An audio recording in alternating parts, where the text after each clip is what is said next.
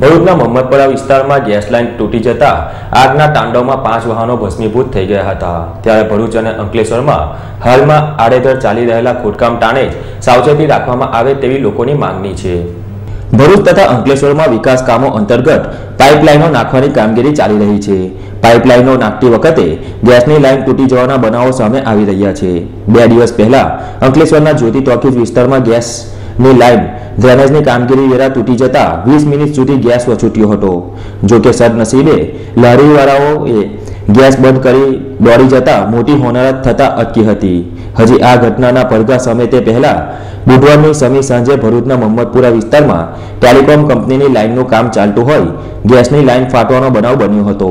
ખાનગી કંપનીની ડ્રિલિંગ દરમિયાન મોહમ્મદપુરા વિસ્તારમાં ગેસની લાઇન ફાટતા આગ ફાટી નીકળી હતી, જેમાં આજુબાજુમાં પાર્ક કરેલ વાહનોમાં બે રિક્ષા અને ત્રણ બાઇકો મળીને પાંચ વાહનો આગમાં બળીને ખાક થઈ ગયા હતા. જોકે આડેધડ થઈ રહેલા ખોદકામને કારણે લોકોની સલામતી જોખમમાં મુકાઈ છે. ટેલિકોમ અને ગેસ કંપનીની બેદરકારીને કારણે બનાવ બન્યો હતો. સદનસીબે મોટી હોનારત થતા રહી ગઈ છે. કોઈપણ જાતની સલામતી વિના ખોદકામ કરવામાં આવે છે. અસરગ્રસ્તોને વળતર મળવું જોઈએ તેમ સ્થાનિકોએ જણાવ્યું છે.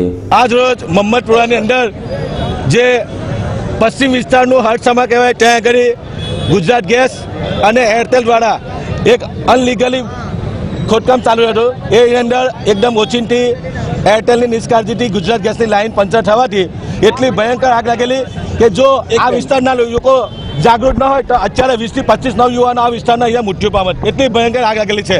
આ આગને તમે જોઈ શકો છો કે લોકલ ફેમિલીની જે ચાઇનીઝની પાછળ લારી હતી, એમાં લાખોનું એ ભાઈને નુકસાન થયેલું છે અને એક વાલુ ગામનો રિક્ષાવાળો છે, બિચારો ગરીબ ઘરનો રિક્ષાવાળો છે.